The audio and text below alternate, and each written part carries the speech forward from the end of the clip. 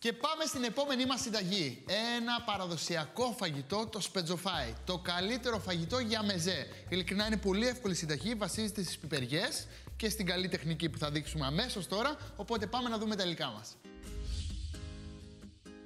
Για το σπετσοφάι θα χρειαστούμε 500 γραμμάρια λουκάνικο χωριάτικο, μία πιπεριά πράσινη, δύο πιπεριές κέρατο, μία πιπεριά πορτοκαλί, μία πιπεριά κίτρινη, μία πιπεριά κόκκινη, μία πιπεριά φλωρίνης, μία πρέζα μπούκοβο, μία κουταλιά της σούπας πελτέ ντομάτας, 100 γραμμάρια κόκκινο κρασί, 1 κιλό ντομάτες, μία κουταλιά της σούπας μέλι, αλάτι και πιπέρι. Για το σερβίρισμα θα χρειαστούμε 100 γραμμάρια φέτα, ρίγανη ξερή, ρίγανη φρέσκια και ψωμί.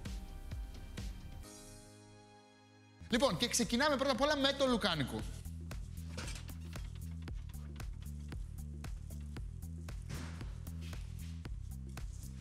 Θα κόψετε ωραίες φέτες εδώ, το λουκάνικο, πλάγες. Θέλουμε καλό χωριάτικο λουκάνικο. Βέβαια, όσο πιο βαρύ το λουκάνικο, τόσο πιο βαρύ το φαγητό μας. Η αλήθεια είναι. Γιατί το λουκάνικο, όσα περισσότερα λιπαρά έχει, τόσο περισσότερα θα βγάλει μέσα στο φαγητό μας. Σίγουρα τα λιπαρά προσφέρουν περισσότερο γεμάτη γεύση, αλλά όσα περισσότερα λιπαρά, τόσο πιο αντιγενό, το ξέρετε, το γνωρίζετε όλοι, οπότε δεν θα πω τίποτα παραπάνω. Ε, λοιπόν, παίρνουμε μία φλάτσοτε κατσαρολίτσα, τη βάζουμε πάνω στη φωτιά και άμα έχει αρκετά λιπαρά το λουκάνικο, δεν χρειάζεται να ρίξετε καθόλου λάδι. Άμα είναι άλυπο το λουκάνικο, θα χρειαστεί να βάλετε λίγο λαδάκι για να μπορέσουμε να το σουτάρουμε να δώσουμε ωραίο χρώμα. Οπότε ρίχνουμε το λουκάνικο σε κρύο τηγανάκι όπως βλέπετε. Θέλουμε σιγά σιγά να γίνει κρίσπι, να τραγανίσει και να βγάλει τα λιπαρά. Όση ώρα ετοιμάζουμε το λουκάνικο και το κάνουμε τραγανό, να ετοιμάσουμε τις περιές μας. Όπως βλέπετε, η συνταγή αυτή θέλει μπόλικες πιπεριές. Δεν πρέπει να κάνουμε τσιγκουνιές σε αυτό το κομμάτι. Πρέπει να πάρουμε πολλές πιπεριές για να πάρουμε αυτή την υπέροχη γεύση. Έχω πάρει τετράχρωμε πιπεριές, πορτοκαλί, πράσινη, κίτρινη. Έχω πάρει πιπεριές κέρατο. Γενικά, μην τις λυπηθείτε, πάρτε ποικιλίες γιατί κάθε πιπεριά έχει ξεχωριστή γεύση και αυτό θέλουμε στο φαγητό μας. Οπότε θα κόψω σε ωραία κομμάτια. Δεν χρειαζόμαστε τα σπόρια. Η συγκεκριμένη συνταγή μας αρέσει πάρα πολύ να είναι και λίγο καυτερή. Οπότε είναι μια καλή ευκαιρία, άμα έχετε και καυτερές πιπεριέ, να τις βάλετε εδώ πέρα. Ε, εγώ θα βάλω μπούκοβο, επειδή δεν βρήκα καυτερές πιπεριέ. Οπότε θα χρησιμοποιήσω τον μπούκοβο για να μου δώσει αυτή την αίσθηση που θέλω να καίει λίγο το φαγητό μου. Άμα πέσουν και λίγα σποράκια δεν πειράζει. Μην πιέζεστε να βγάλετε όλα τα σποράκια και λίγα να μείνουν δεν πειράζει. Μας αρέσει. Και εδώ. Όσο περισσότερα βγάλω τόσο καλύτερα. Αλλά γενικά είναι μια εύκολη συνταγή. Οπότε δεν θέλουμε να μας κουράσει. Τώρα, κόβουμε σε ωραία κομμάτια τις περιές μας, εδώ. Και μη σας φοβίζει να είναι λίγο ρουστίκ, μας αρέσει. Μεγάλα κομμάτια, μικρά κομμάτια, διαφορετικές υφές, οπότε καλύτερο το αποτέλεσμα.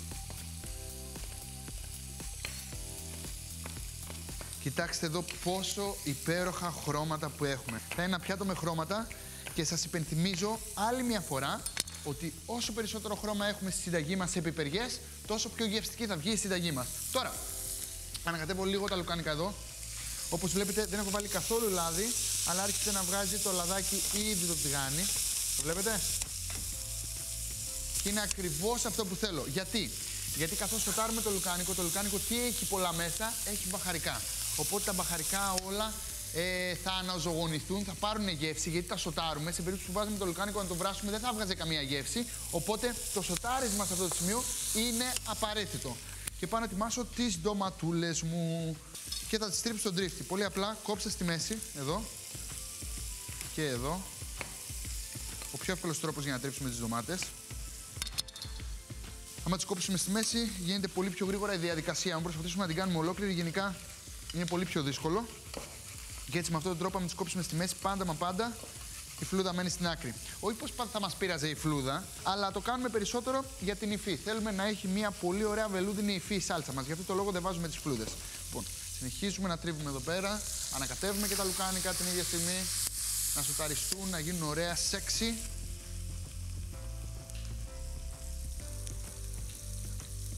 Όπως βλέπετε, έχω πάρει όλο το χυμό από τις ντομάτες. Τον αφήνω στην άκρη, προς το παρόν δεν το χρειάζομαι. Θα το χρειαστώ σε λίγο και ήρθε η ώρα να ρίξω τις πιπεριέ μέσα στο κατσαρολάκι. Κοιτάξτε εδώ. Τα λιπαρά όλα που βλέπετε εδώ μέσα είναι από το λουκάνικο. Δεν βάλαμε καθόλου λαδάκι και σε αυτά τα λιπαρά από το λουκάνικο θα ψήσουμε τις πιπεριές μας. Ρίχνουμε μέσα τις πιπεριές. Εδώ. Όλα, όλα. Φανταστικό φαγητό. Κοιτάξτε εδώ. Και τώρα αυτό που θέλω να κάνετε είναι να χαμηλώσετε τη φωτιά αρκετά, περίπου στη μέση και να αφήσετε για τουλάχιστον 20 λεπτάκια σε χαμηλή φωτιά να μαλακώσουν οι πιπεριές. Άμα τις σουτάρουμε γρήγορα, το αποτέλεσμα δεν θα είναι τόσο ωραίο γιατί θα είναι λίγο τραγανές οι πιπεριές. Θέλουμε να ιώσουν, να βγάλουν όλη τους τη γεύση. Οπότε 20 λεπτά σε χαμηλή φωτιά και στη συνέχεια θα ρίξουμε όλα τα υπόλοιπα μας υλικά για να δέσουμε τη σάλτσα μας. Οι κόκκινες, οι κίτρινες και οι πορτοκαλί πιπεριές είναι στην ουσία πράσινες που έχουν οριμάσει. Διαφέρουν στα θρεπτικά συστατικά και έχουν πιο φρουτόδη γεύση από τις πράσινες. Οι ειδικοί επισημαίνουν ότι οι πράσινες πιπεριές περιέχουν περισσότερο φιλικό οξύ, βιταμίνη K και λουτεΐνη από τις πολύχρωμες πιπεριές, ενώ οι πολύχρωμες πιπεριές περιέχουν περισσότερη βιταμίνη A και λικοπένιο. Όλες οι πιπεριές περιέχουν βιταμίνη C και B6. Και μόλις μαλακώσουν οι πιπεριές και γίνουν ωραίες, ήρθε η ώρα να ρίξουμε πού είναι το μπουκοβό μου. Να το. Ουσιαστικά θα πάρω μικρές πιπεριές τσίλι. Αυτές είναι πάρα πολύ καυτερές. Με μία τέτοια πιπεριά πραγματικά το φαγητό μας θα καίει, οπότε βάλτε όσο εσείς θέλετε, όσο καυτερό θέλετε να γίνει. Παναγία μου. Αυτή είναι πραγματικά καυτερή πιπεριά, δεν θα βάλω άλλη.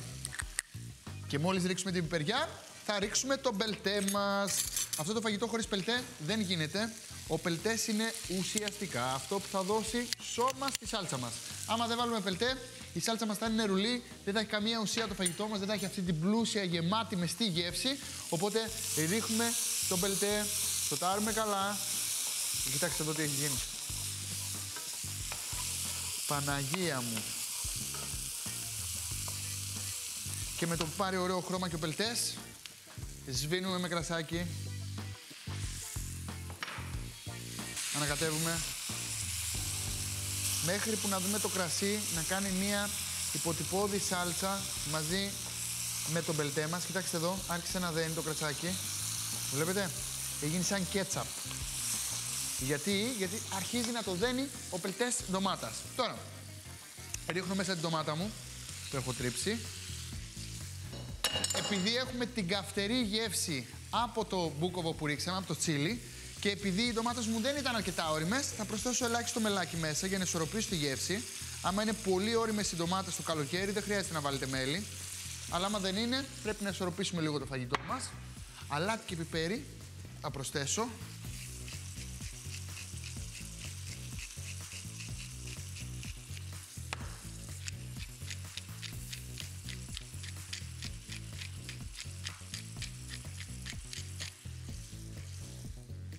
Ανακατεύω καλά. Εδώ. Μα είναι φανταστικό φαγητό. Δηλαδή, όντως με δύο λουκάνικα μπορείς να κάνεις πραγματικά φαγητό. Γιατί το σπετζοφάι μας σερβίρουμε με λίγο ρύζι, μπορεί να είναι και κυρίως πιάτο, δεν είναι μόνο μεζές. Αλλά εμείς έχουμε συνηθίσει να το τρώμε σαν μεζέ. Τώρα, καπακώνω και θα ψήσω για άλλα 15-20 λεπτά και μέχρι να μαλακώσουν οι πιπεριές, να δέσει η σάλτσα μας και μόλις είναι έτοιμο θα σερβίρουμε.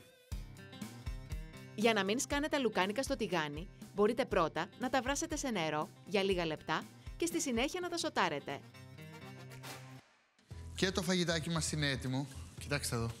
Είναι φανταστικό. Νομίζω ότι είναι από τους πιο έξυπνους τρόπους για να αξιοποιήσεις το λουκάνικο. Το λουκάνικο μαζί με τις πιπεριές είναι οι καλύτεροι φίλοι και πραγματικά μπορούμε αυτό το φαγητό να το σερβίρουμε σαν κυρίως φαγητό, εφόσον βάλουμε από κάτω μία γαρνιτούρα, ένα υδατάνθρακα όπως είναι το ρύζι, το πληγούρι ή κάτι άλλο που μας αρέσει. Κοιτάξτε εδώ.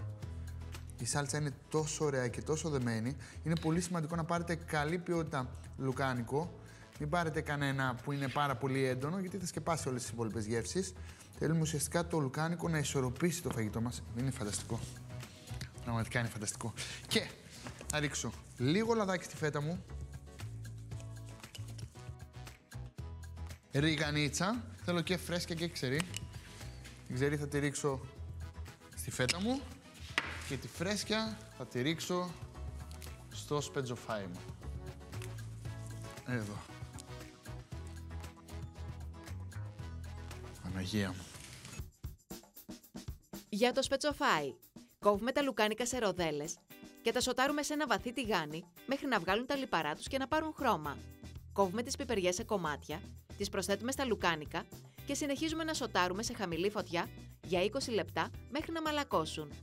Ρίχνουμε τον μπούκοβο, τον πελτέ ντομάτας και ανακατεύουμε. Σβήνουμε με το κόκκινο κρασί και το αφήνουμε να εξατμιστεί. Τρίβουμε τις ντομάτες στον τρίφτη και τις βάζουμε στο τηγάνι. Προσθέτουμε το μέλι, αλάτι, πιπέρι και ανακατεύουμε. Καλύπτουμε με το καπάκι και σιγοβράζουμε σε μέτρια φωτιά για 15 με 20 λεπτά. Σερβίρουμε το σπετσοφάι και ρίχνουμε φρέσκια ρίγανη. Βάζουμε λίγο ελαιόλαδο και ξερή ρίγανη στη φέτα. Συνοδεύουμε το σπετσοφάι με τη φέτα και το ψωμί. Και ήρθε η ώρα της δοκιμής. Θα πάρω λίγο απ' όλα.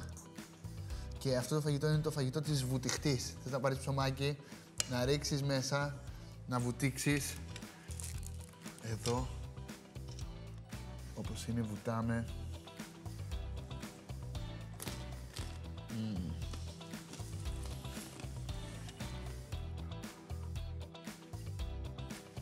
Και... Αλλά δεν μου πειράζει καθόλου. Είναι φανταστικό. Πάρα πολύ απλό φαγητό. Είμαι σίγουρος πως πολλοί θεωρείτε ότι είναι κάτι δύσκολο, αλλά σας έδειξα όλα τα μυστικά. Σε περίπτωση που θέλετε να το κάνετε έτσι πιο ιδιαίτερο, η πάπρικα μπορεί να βοηθήσει. Αν βάλετε μια καπνιστή πάπρικα, μια γλυκιά πάπρικα, θα δώσει κάτι παραπάνω. Αλλά πρώτα απ' όλα θέλω να δοκιμάσετε την κλασική συνταγή, την πιο απλή συνταγή και μετά μπείτε σε πειραματισμούς. Ε, είναι μια συνταγή που πραγματικά πρέπει να τη δοκιμάσετε.